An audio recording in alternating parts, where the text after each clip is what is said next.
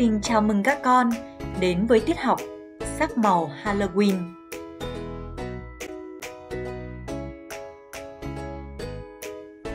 Trong bài học này, chúng ta sẽ cùng nhau hướng đến mục tiêu sau.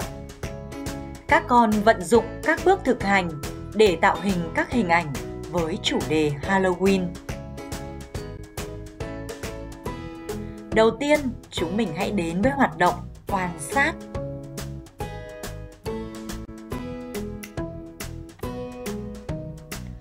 Trong hoạt động này, cô mời các con đặt những câu hỏi để tìm hiểu thông tin về nội dung, hình ảnh, màu sắc trong lễ hội Halloween nhé.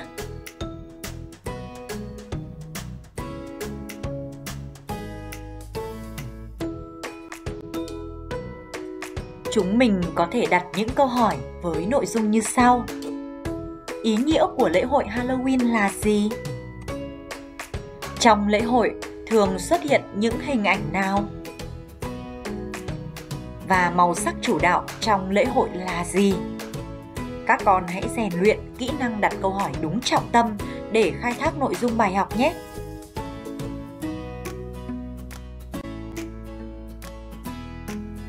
Lễ hội Halloween là một lễ hội rất vui vẻ, nhằm giúp cho con người ta hướng đến những điều tốt đẹp và tránh xa những điều xấu xa, tội lỗi. Những hình ảnh đặc trưng trong lễ hội Halloween, ví dụ như quả bí ngô, những con nhện, bao phù thủy hay những ngôi nhà hắc ám. Vậy màu sắc đặc trưng trong lễ hội Halloween là gì? Chắc chắn rồi, đó chính là màu đen, màu tím, màu đỏ, màu cam và màu trắng đấy các con ạ.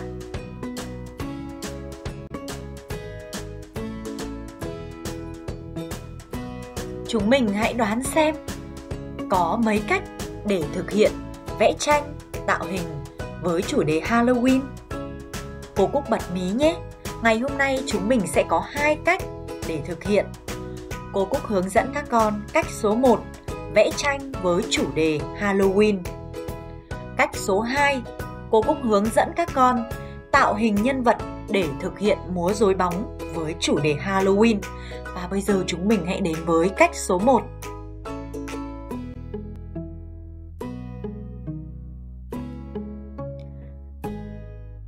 Để vẽ một bức tranh về chủ đề Halloween thật đẹp, các con sẽ cùng nhau trải qua 3 bước.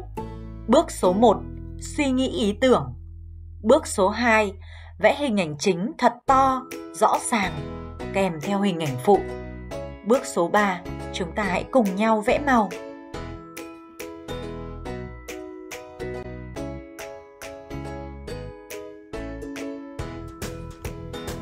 Cách tạo hình số 2 Chúng ta sẽ tạo thành những nhân vật để cùng nhau múa rối bóng với 4 bước. Bước số 1 vẫn là suy nghĩ ý tưởng. Bước số 2 vẽ hình ảnh to, rõ ràng.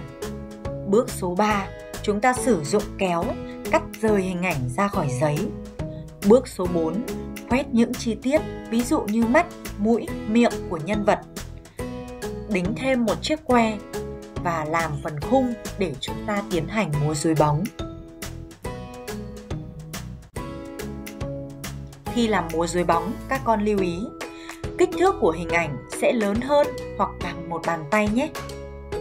Sau khi cắt xong, chúng ta cần khoét các bộ phận để khi chiếu bóng có thể nhìn rõ từng chi tiết một.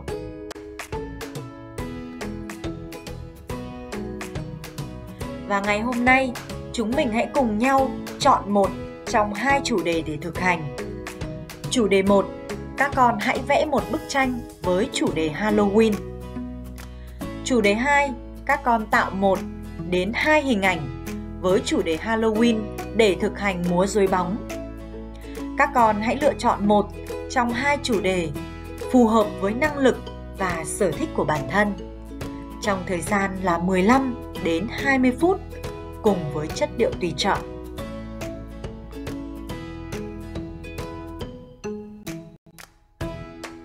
Dưới đây là những hình ảnh tham khảo để chúng mình có thể tạo hình và hoàn thiện bức tranh với chủ đề Halloween.